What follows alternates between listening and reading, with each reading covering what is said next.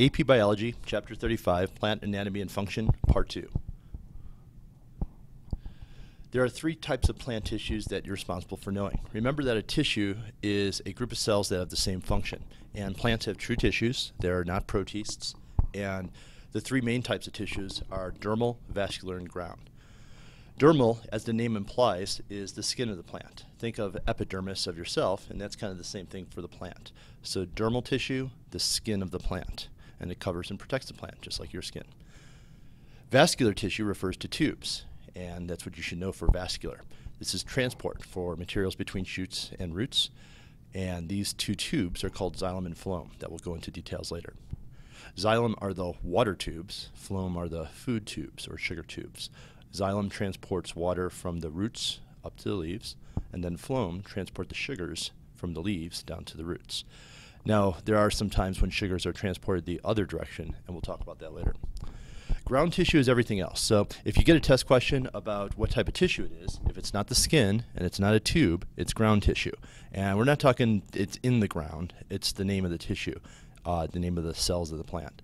So all the middle layers of the leaf that do photosynthesis, uh, all the parts of the plant that are not uh, covering it or involved with transporting it, uh, the stuff, that's ground tissue. Here we have some uh, pictures. We have ground tissue represented by the yellow in three different places, leaves, stem, roots, dermal tissue in three different places, roots, stem, leaves. Then we have vascular tissue, tubes for transport, and the roots, stem, and leaves. All right, moving on. Here we have some cell types as well. So you now know about the three types of tissues. There are three types of cell types that you need to know as well. Parenchyma, collenchyma, and sclerenchyma. All right, let's write this down. Plant cell types. Now, these are the cell types found in the tissues. Parenchyma, you can kind of think of as the parent of all the other types of cells. These are the least specialized and will become collenchyma and sclerenchyma after they become specialized. So parenchyma you can kind of think of as, and you might want to write this down, parent in parentheses of the other cells. Also, some cells just stay parenchyma. They're least specialized. They're storage cells. If you're eating a potato, it's mainly parenchyma or a carrot. Uh, also, photosynthetic cells, the middle layer, the mesophyll layer of the leaf is all parenchyma. Fruit is mainly parenchyma. All right, collenchyma, they're uneven, thickened primary walls for support. In fact, collenchyma and sclerenchyma are both used for support. So if we're talking about cell types and it's not used for support, then it's parenchyma. If it is used for support, then it's either going to be collenchyma or sclerenchyma. Now, the way to figure out which one is which, well, first uh, way that we can tell the difference is whether it's the primary walls or the secondary walls of the um, uh, the cells that are being supported. Uh, that one you might have a little trouble remember, remembering. Uneven thickness in collenchyma, again, that might be kind of hard. However, sclerenchyma is dead at maturity. That is a key uh, idea there. If you know it's dead support cells, it has to be sclerenchyma. If it's live support cells, then it's collenchyma. You might want to add that to collenchyma, live. Live support versus dead support. Another uh, thing about sclerenchyma is that they have woody uh, substance to kind of keep it rigid, and that woody substance is something called lignin. Lignin is spelled L-I-G-N-I-N and lignin is the woody stuff of wood, and that's found in sclerenchyma. All right, let's pause at this point and copy this down. Parenchyma, a little more details here. They're relatively unspecialized. Here we have a lot of uh, parenchyma in the middle of uh, plant here. Collenchyma is uneven thickness. See, there's like really thick here and uh, a little thinner here, uneven thickness. And they're alive at maturity they provide support. You can think of collenchyma as the stringy stuff in celery. In fact, that's the one way I remember it is celery starts with a C and collenchyma starts with a C. So that collenchyma found in celery is that stringy stuff. Here we have the uh, strings of celery stalks or collenchyma. Sclerenchyma, lignin. Let's write, make sure you have that. Lignin is the woody stuff of wood, cannot elongate, and dead at maturity.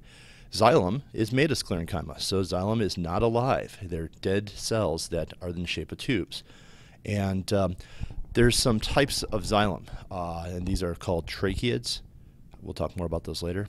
Fibers are used for um, of sclerenchyma are used for rope. If you ever see the that that kind of uh, tan rope called manila rope, that's all sclerenchyma. And then nutshells and seed coats, anything that's gritty and feels kind of woody is all sclerenchyma. You know, if you especially think of like a peach pit that's like very wo uh, woody, that's all sclerenchyma. All right, moving on. Vascular tissue. Now, there's two types of vascular tissue, and you have to know both. Let's go and write this down. I'm going to just use my uh, cursor to tell you what I need you to write down. So as I tell you uh, what you need, I'll put my cursor above it. Here, vascular tissue. Write that down, and let's make sure all this stuff is in your notes. Xylem carries water and minerals up from the roots, and they're tube-shaped dead cells made of sclerenchyma.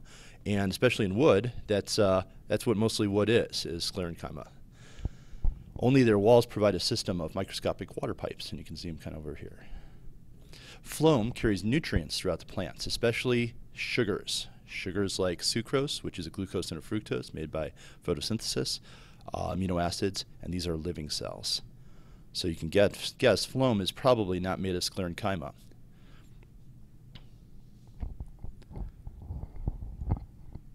All right, here we have xylem. These are dead cells, water conducting cells of the xylem. And there's two types of xylem, and I want you to write both of them down now. The two types of xylem are vessel elements and tracheids.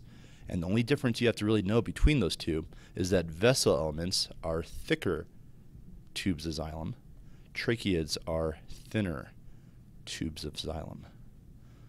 Write that down, please. Here we have a trache uh, tracheid, smaller tubes, and then we have the vessel element, bigger tubes. Both conduct water, adhesion, cohesion. All right, xylem, uh, here we can uh, get more information on this if you want to fill in your notes on that. Xylem is dead at functional maturity. If you already have that down, you don't have to worry about that again. Tracheids, long, thin cells with tapered ends, reinforced with lignin, and that's the key word there. They're thinner. They have little pits. If you take a look here, see little pits here where we let water through. Vessel elements are wider.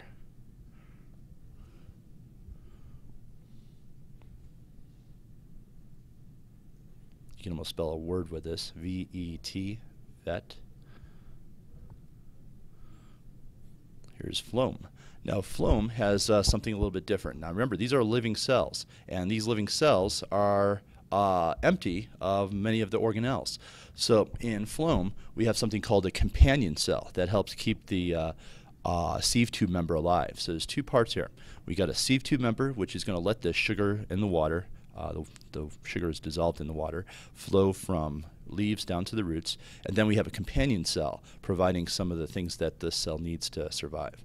Here we have a uh, companion cell next to a sieve tube uh, member.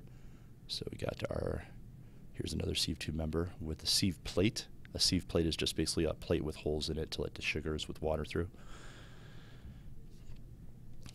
As you can see, here's a sieve plate between two sieve tube members. And these side cells are companion cells, keeping those cells alive. All right, let's write this down. Phloem, living cells at functional maturity.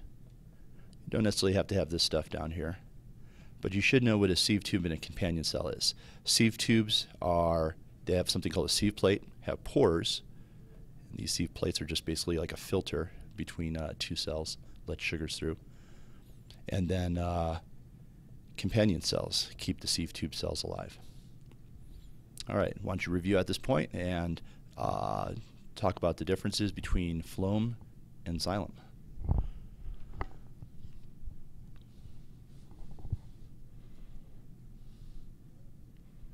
All right. This ends um, part two of your notes on Chapter 35, Plant Anatomy.